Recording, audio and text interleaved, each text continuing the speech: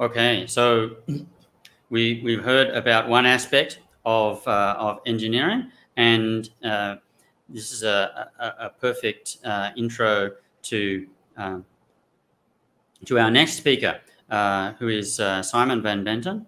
Uh, he's the founder of NRS Consulting. Um, welcome, welcome, Simon.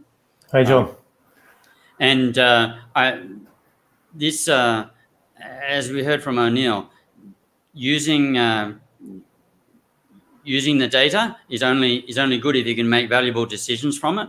And so, what uh, what what I'm looking forward to to learning from you is what data is important uh, when you're talking about um, uh, major capital equipment and uh, and its uh, the productivity of its operations and and also the timeliness of its of its maintenance and and where you where where best to expend your your effort and what data you need to to, to make those sorts of decisions. So um, uh, let, us have a look at your screen to make sure everything's up okay. I can see that perfectly. The slides are up, so, yeah, okay. Yep, over to you. Okay, thanks, John. Thanks for your introduction and, um, and thanks for having me. So, uh, what everybody is obviously aware of is that we are racing toward a new world, and this is a world where digitalization will play its biggest role ever if we look at uh, industrial equipment and factory uptime. There are th three main issues, however, that I would like to talk about that uh, will actually threaten that role. Um, and these issues need to be understood quickly, or else I believe they will be too big to deal with uh, easily and cheaply. So I'm going to explain how to avoid those problems. And there are actually quite a lot of simple and interesting things you could do, um, starting right now. And um, I'm also going to talk about uh, people like John here because at the same time these problems are occurring, he's about to do something um, which is quite important. So please keep that in mind. Um, so my name is uh, Simon van Benten. Um, I've been working in the field of uh, reliability engineering and asset management for the past 12 years. And this basically means it's my job to tell plant management uh, what to do with their equipment and, um, and when to do it. So sometimes it means um, optimizing uh, maintenance plans for power plants, for instance. Uh, or sometimes our customers want to add uh, services to their products. Sometimes we help uh, stand up the next generation of plastic recycling, um, or make it possible for a um, for a vaccine research company to start producing vaccines uh, on a massive scale. So as uh, we know, the next generation of plants will produce a lot of mission critical data and uh, IT will own a lot of the data. But what we do need to understand is what equipment manufacturers can do and cannot do for us um, when they add sensors to their products. Um, the second issue is that we need to understand what AI and software can achieve and what it actually can't achieve. And we would also need to use the right planning and new strategy tools, or else we're going to fail. So, if we understand and tackle these problems, uh, we are able to avoid expensive downtime or, uh, or even worse. Um, and then we will be able to support uh, the higher outputs and faster speeds that the industry expects. So there are many interesting tips that have been shown people um, to help them do this for themselves, actually. But it's not going to happen um, unless we push for changes, uh, because on the one hand, you have these manufacturers um, basically not thinking too much about the ecosystem um, and about how to best maintain the ecosystem after they have gone. Um, then you have software and AI companies talking to factory management, um, but the IT teams usually are not part of the discussions. So it's a bit of a similar uh, situation from the other perspective. And then we also need to use the right planning and strategy tools for the next generation of factories. So these are basically the things that uh, that keep people like me up at night and um, and also keeping us very busy. So um, if industry and IT are going to prevent those issues, so the need for planning a strategy, um, equipment manufacturers moving ahead on their own, and software delivering on its promises, then we basically need to go back to, to the fundamentals. But if we do that, we are in a future where a lot of innovation and new products and services can be invented without us worrying uh, all the time that the underlying infrastructure is going to fail at any minute. So we would have a system to avoid these issues, and we'd have a way to guess, get past the hype and actually achieve the future. So this is done by combining domain knowledge, uh, practical statistics, and IT infrastructure. And um, if we do that, we'll be able to understand the connection between the failure behavior of our assets and how they are related to uh, achieving our business objectives, basically. So that finally getting the insight into the failure behavior would be uh, would be simple and routine. And then we'd have built the IT tools and the data tools needed to get all the data and basically use the data to make better decisions. So um, the global uh, predictive maintenance market, which we'll, we'll talk about uh, later on, will be about $12 billion uh, four years from now. So this is going to be a reality very soon. Um, but just as we're working towards that and working around the clock to keep up uh, with all this growth, we also still have to think about John because um, Western and Asian countries alike are facing a massive retirement wave of elderly technical staff. So it basically means that um, industry is about to lose a lot of accumulated knowledge, and uh, that is happening everywhere. And we're going to feel the pain uh, very soon, and it will last a while, unless we start to gather and organize our knowledge. Um, but we aren't actually doing that. Um, instead, the digitization wave is mainly pushing plants to uh, depend on sensor data and uh, AI-related techniques as uh, as the solution. And in the meantime, uh, assuming that the decision-making power will go up automatically. And also, when something is already bad, it's easy for us to uh, for that to get uh, to get even worse, and that's exactly what COVID did. Because right now, people are that making those decisions, um, they aren't working together anymore side by side, and the days of people working together every day, well, they might very well never come back. So, the key to to get ahead and to stay ahead of all this uh, growth in data volume and to uh, not lose what we've built, uh, but also of not losing what we already know as uh, this wave of older workers is, is, exiting the industry, is basically to build future-proof models for uh, of our assets.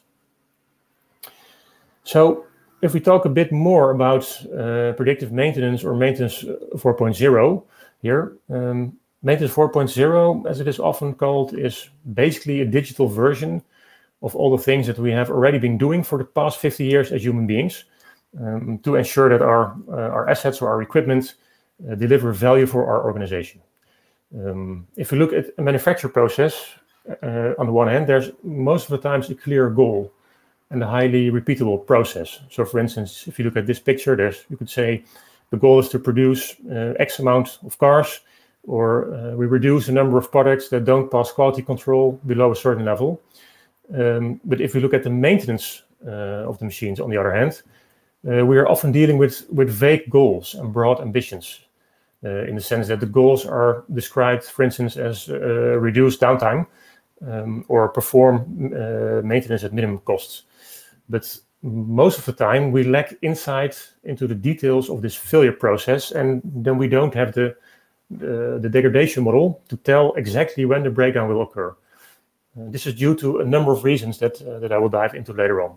So we're going to look at how we can use data to better understand this behavior and how will this help us avoid uh, disasters. Before we do that, let's first introduce uh, a few important trends in the uh, predictive maintenance market.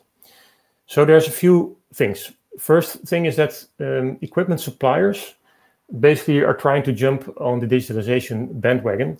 So they are um, selling machines with sensors built in, and uh, the vendor will also often try to extend this with remote services or the opportunities for remote monitoring.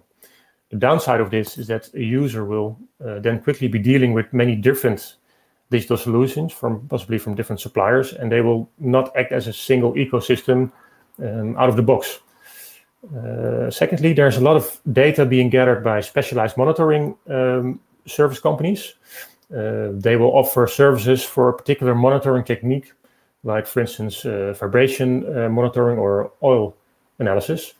Um, but they will mainly base their advice um, on deviations in specific values or trends, and not necessarily on the overall condition of the equipment. So here we have a huge potential for connecting all the different data sources, but it's not really common today, and it won't be for a while. Um, third uh, trend is that we have software and AI vendors entering the market, and their usual selling point is pretty simple. They will say, "Give us your data, and we will tell you what is wrong with your machine." Um, but it's actually not that simple, and there are a few reasons why that is the case. Uh, the first thing is that there's actually almost never enough good data. Uh, particularly failure data is pretty hard to come by, and this is due to a phenomenon that we um, in our industry call uh, Resnikoff's conundrum, which basically says that uh, maintenance teams are normally pretty busy preventing machines from breaking down.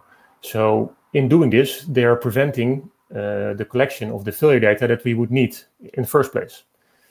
Secondly, the data that we do have uh, will most of the time give rise to correlations and not necessarily to causal relationships. But you do need a causal uh, model, a dynamic model of the machine to determine the most effective actions and then to get a feel for the delay time. So the delay time is the time between a phenomenon we observe and the time of the actual breakdown, in which we have uh, still an opportunity to intervene.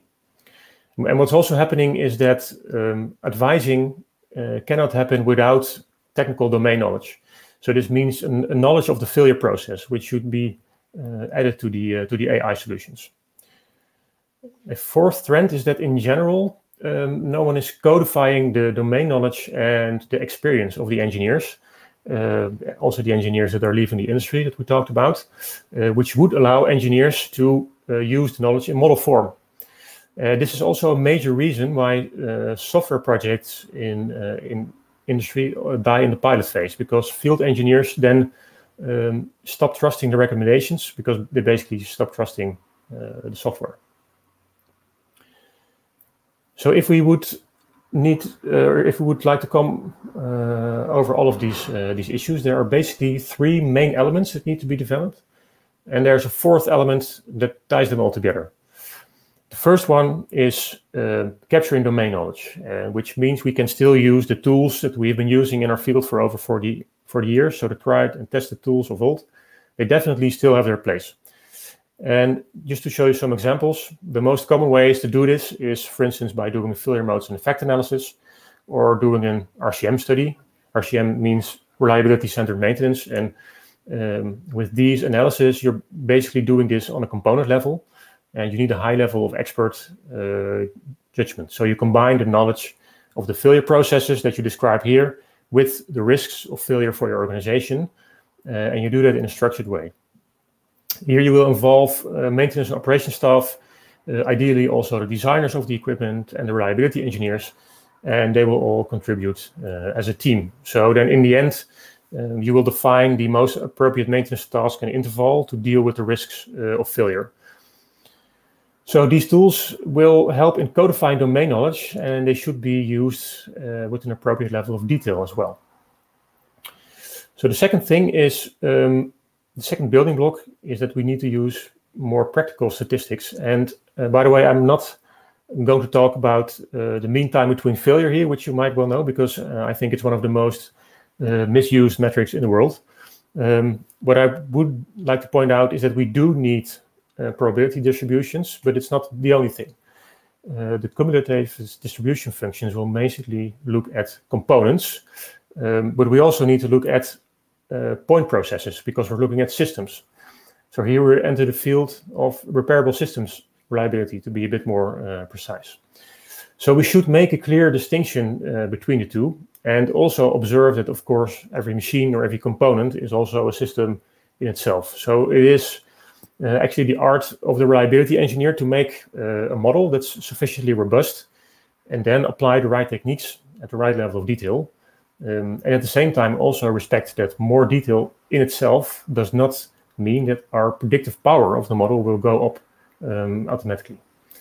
Just to show you one simple example that you could use is to um, is to use the model uh, for, uh, for optimal replacement based on a single failure mode, which you see here on the right hand side. So this gives the plant engineer an estimate of the optimal maintenance interval when you look at total costs, so the combined cost of preventive maintenance and uh, failure um, when assuming that the system will be as good as new uh, after the intervention.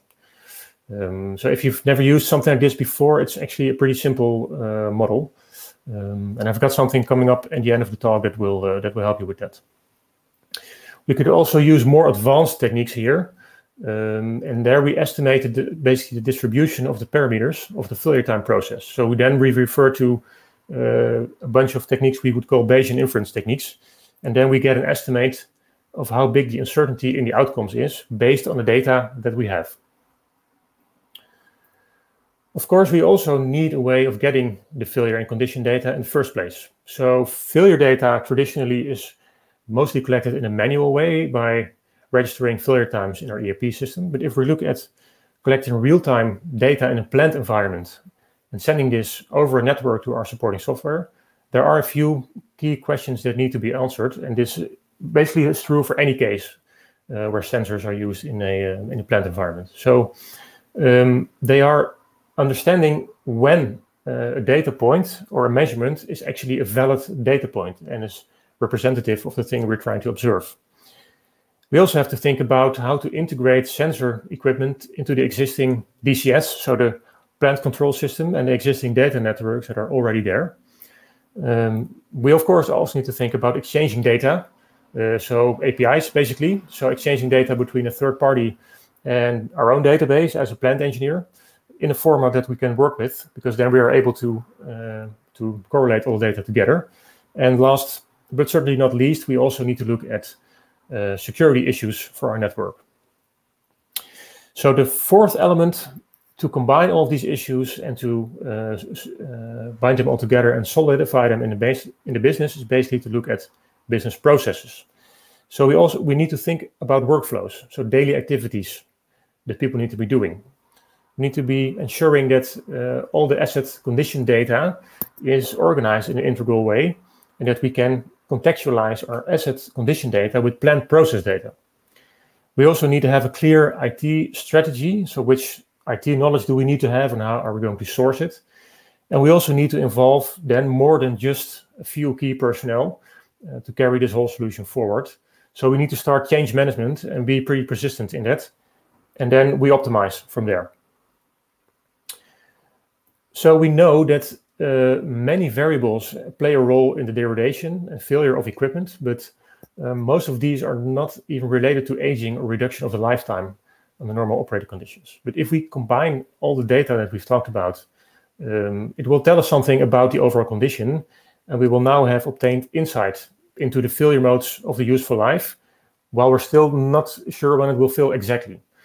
So we will have insight in uh, which equipment and which failure modes to monitor, how we can use that information to make a better decision, and then actually be able to spend our time and money wisely.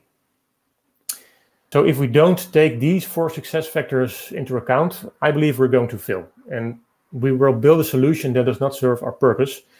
And we're going to completely missolve a business problem, basically. So we're going to forget to aim for optimal resource expenditure, and we're not going to optimize our production processes, and we're going to fail. And that failure will then be pretty public and noticeable.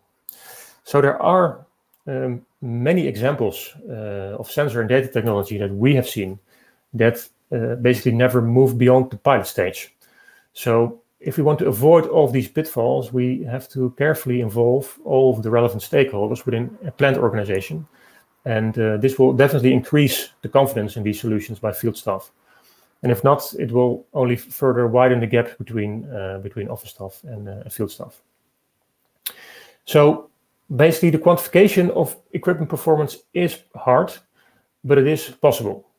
The thing we need to do is that we need to start from the fundamentals, and this will enhance user adoption and it will help us move uh, asset data into a central role in our decision-making processes. So um, there are many ideas and many tips and tricks that you can use to, to tackle all of the problems that we've talked about. Um, but there's obviously no time to cover all of this in a 20-minute presentation. So um, I will be holding a free webinar next month, uh, actually, and I'm going to show you in that step by step the next things that you need to do to get ahead of all the issues and also how to stay ahead of them. So if you want to get access to that, just go to industry2025.com and register with your email address, and I will send you all the details. So with this, uh, we've actually reached the end of my story for today. Um, so thanks for listening, and um, I'll be happy to answer any questions you may have um, in the remainder of our session we have together. Simon, thanks, uh, thanks very much for that. Um, I I think there are a lot of uh, elements there uh, that you've drawn, uh, particularly you know real world meets digital world. Um, the um, and I, I think our, our, audience has a lot of uh, technology people who think think in terms of data, in, in terms of communication, um, obviously APIs uh, to to move uh, data and uh, and send messages. Some of the the use cases though that you deal with, um, uh, uh, you, you point out that understanding of the the uh, the domain is is important and helping to codify the knowledge of the the frontline workers is is critical in order to actually uh, gather data and uh, and present it in a way that can make useful decisions.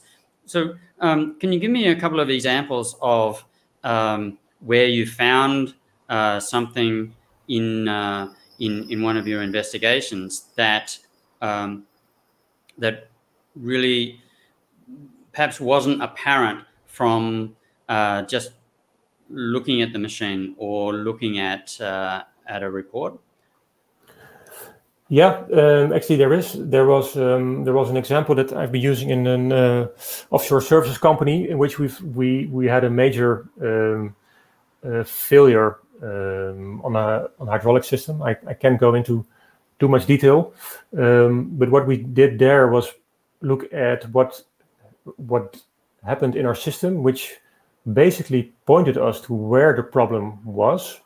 So you could definitely see a problem coming coming on um, but it wasn't apparent what the reasons were. And at the time, we were only able to find out by physically going to the system, do some test runs with it, then then observe actually uh, some behavior that nobody was um, uh, aware of. So also uh, operators working daily with uh, the system, people who were doing the maintenance for a few years, it was just something that people didn't see. So kind of a blind spot and uh, we were able to do that by by combining this um, uh, this this data from our um, basically from our control system with with just going out into the field and uh, looking at what was happening.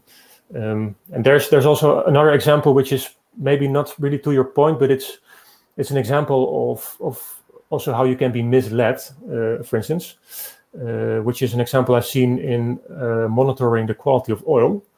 Uh, so hydraulic oil or uh, lubricating oil. So what is normally done is that uh, an oil sample is taken um, in a bottle, you send it to a laboratory, they do specific tests, they will give you a report and they will send it back.